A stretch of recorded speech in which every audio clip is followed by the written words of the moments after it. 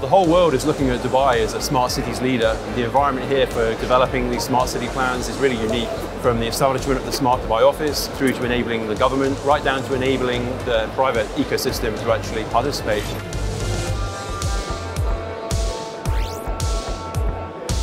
They set up the Dubai Pulse, and that's an open data sharing website for community to understand what's going on across the city.